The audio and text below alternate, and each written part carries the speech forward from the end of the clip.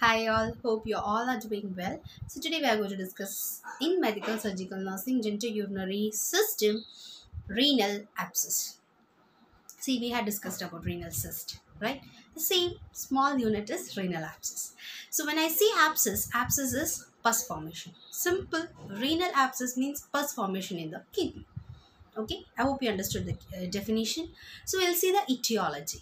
See, etiology is mainly due to bacterial infection. Okay, that bacteria, uh, E. coli bacteria. Okay, E. coli bacterial infection in ureter, bladder, urethra. Okay, when this infection is exceeded, it affects the uh, pus formation in the kidney. Okay, so what are the risk factors? It can be occurring in mm, pregnant women okay? Diabetic mellitus patients okay? Elderly patients. The person who is having uh, CKD CKD means chronic kidney disease okay? Or a person who had a kidney transplant okay? Then we can be usually seen in hospital acquired urinary infection. When i said hospital acquired you will be knowing it right? Hope you remember first year so that was all about the risk factor. Clinical manifestation the person will be having abdominal pain okay lower abdominal pain as well as the flank region pain okay. And loss of appetite hematuria dysuria pyuria pyuria is the main because pus in urine because pus in kidney. Tachycardia will be there for the patient. Hypotension and also the person will be little bit pale okay. Pale skin will be present for the patient now moving on to the diagnostic evaluation, person will be having uh, history collection, physical examination can be done, CT, MRI, okay. Uh, then urine analysis, blood test will be done for the patient. As a blood test, we will be doing RFT, okay.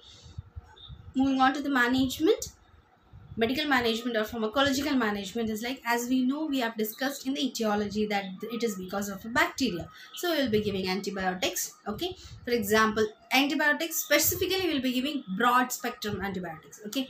For that example i can say cephalosporin okay? Then aminoglycerides will be given example gentamicin. Okay? Then symptomatic treatment for the patient as the person is having pain the person is having um, fever tachycardia. Okay? As per the person's signs and symptoms we will be giving the treatment. Surgical management will be done because it is pus right? Pus is filled in the kidney. So either we can drain it. Okay? Draining will be done for the uh, this one from the kidney. So draining can be done when uh, about uh, when it is open draining is done usually when it is open. So i'll just tell you a simple tip okay? A simple tip. Any word ending with tommy. T-o-m-y that means it is opening. Okay? Tracheotomy nephrotomy okay? Uh, uh, then pharyngotomy mm, i don't remember. Okay? Uh, the any word ending with tommy that is um, you can say it is a, just a opening. Okay? It's a opening.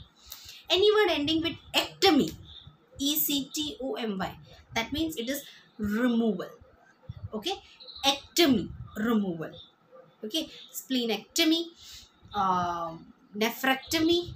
Okay few words you can only search okay? Actually you, you might be discussed uh, last year and all you will be hearing all this word no? So any word ending with ectomy means it's a removal okay? Either partially or either fully that depends upon the surgery okay?